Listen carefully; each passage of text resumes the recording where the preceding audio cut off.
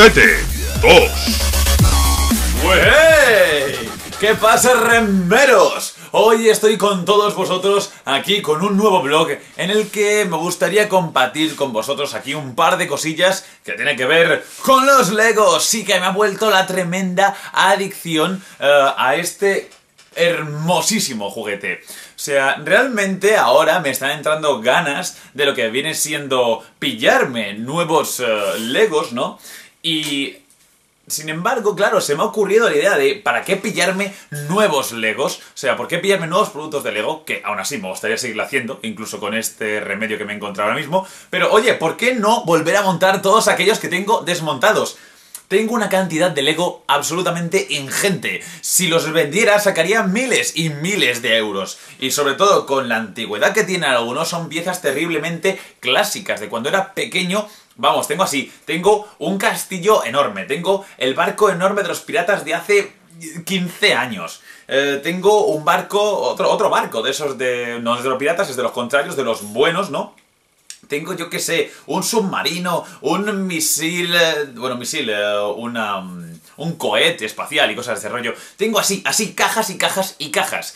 Eh, la cuestión es por qué está así, por qué, digamos, están todas las tablas unidas. En fin, voy a coger algún ejemplo para que lo veáis. Tengo un montón de cosas, en lugar de montadas, las tengo que las podéis encontrar de la siguiente manera, con todas... Joder, a ver, trae aquí. La caja, vamos a ver la caja. Esto es un ejemplo de cómo tengo todas mis piezas de Lego. Ahí veis. ¡Uy, va que se me cae! Muy bien, pues ese es solo uno de tantos ejemplos que tenemos aquí de Lego. O sea, tengo todo esto así porque estaba diseñado así, o sea, lo monté todo así para que pudiera ser llevado de mudanza en mudanza. Yo claro, tengo todo este rollo de los Legos desde cuando era pequeño y resulta que, bueno, yo viví dos años en Guatemala. Debido a todas esas mudanzas de ir y de volver y todo ese rollo, pues claro, tú no puedes llevar en unos contenedores de mudanza transatlántica a todos los Legos montados, porque ocupan demasiado espacio, aparte de que llevados así con el tuntún, pues se podrían eh, llegar a romper o qué sé yo. Entonces, bueno, básicamente está todo eh, montado de, de esta manera, bueno, mejor dicho, desmontado pero más o menos organizado para que se puedan volver a montar. El caso es que aún así hay mucha cosa desorganizada. Pero bueno, tenerlos los tengo y los puedo volver a montar. El tema es que lo comenté por ahí en Twitter, ya sabéis, arroba mayorcete, seguidme si no lo estáis ah, haciendo ya.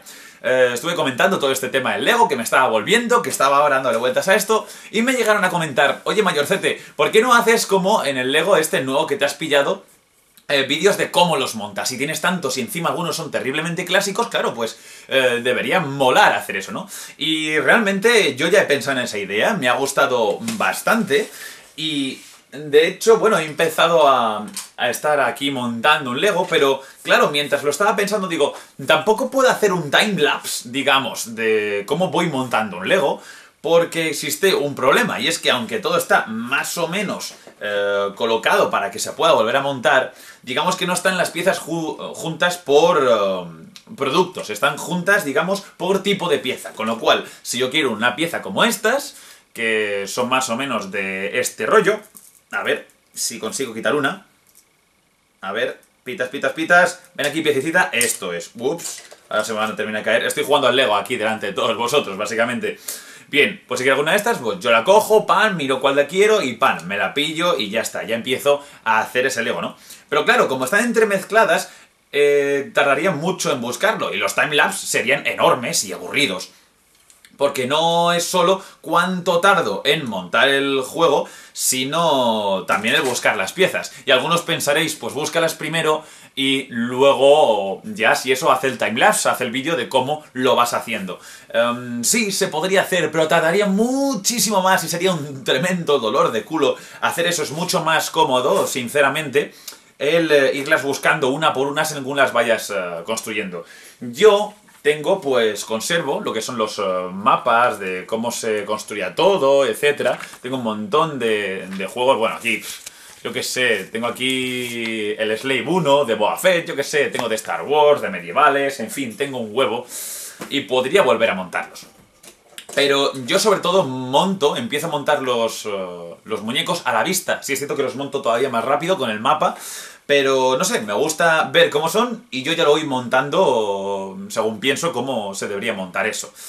Entonces no es hasta cierto punto que ya voy a, pillar el mapa porque ya no sé cómo se llega a eso. Pero entonces, según lo voy montando, voy buscando las piezas. A ver, necesito esta pieza para montar esto. La busco, la encuentro, pim, pam, pim, pam, pim, pam, y ya lo tengo hecho.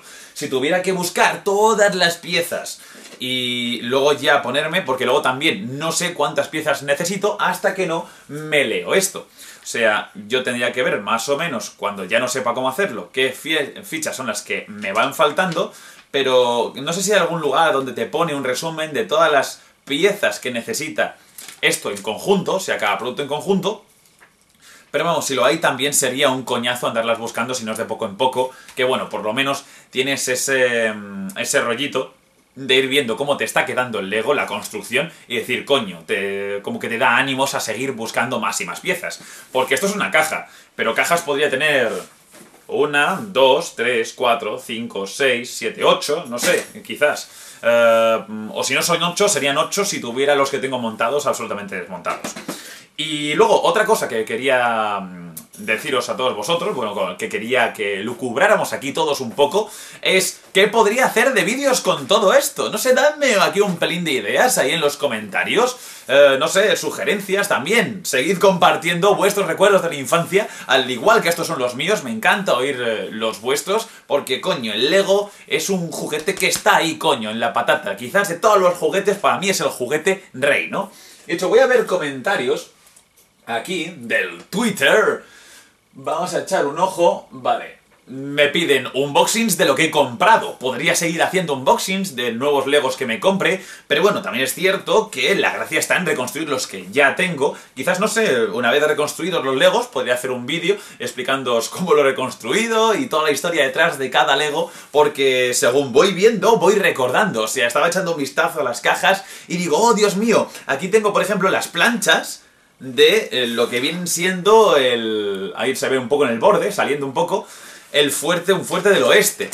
Y bueno, pues tengo miles de cosas, miles de cosas. Por ejemplo, creo que estas es de un rollo submarino, porque veis pececitos y todo. Y bueno, pues aquí tenéis otras tantas que creo que son de... Eh, no sé si era un fuerte o alguna cosa en donde había unos cuantos indios sudamericanos y unos piratitas, no sé, algo de ese rollo pirata, ¿no? A ver, ahí está, ya he metido todo, que es que si no, poco a poco se me van saliendo las piezas, porque aunque algunas están en láminas, digamos que lo va removiendo y algunos se meten por debajo y salen, ¿no? Luego no lo puedo guardar bien. Pues bueno, está eso por, eh, ese lado, vamos a ver.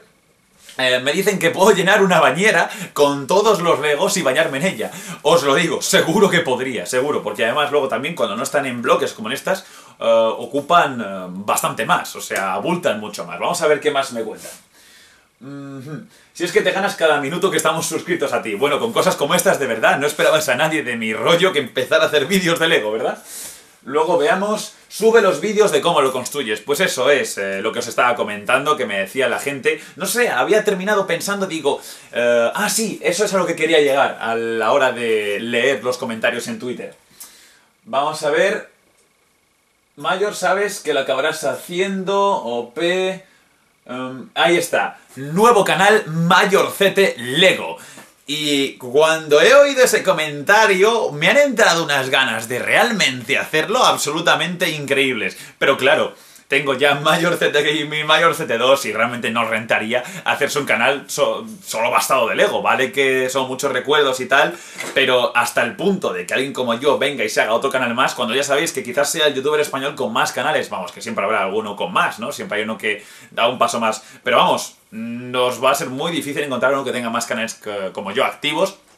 Sea, totalmente activos. Tengo Humor Mayor CT, Mayor CT Gaming, Mayor CT2 y también Mayor CT Music, según lo necesito. Y luego tengo no sé cuántos canales por ahí reservados y tal. O sea, que hacerme otro más, no. Pero yo qué sé, quizás una sección en Humor Mayor... Digo, Humor, no. En Mayor CT2. O sea, aparte de los extras y aparte de los blogs y de los vídeos especiales, no sé, quizás un... Um, Legomanía o yo qué sé, algo de eso, no sé. A ver qué se os ocurre, eh, algo que, que me dé ganitas, o si no, bueno, simples unboxings, ya os digo, en los comentarios me ponéis aquello que eh, esté rondando vuestra cabecita en estos momentos.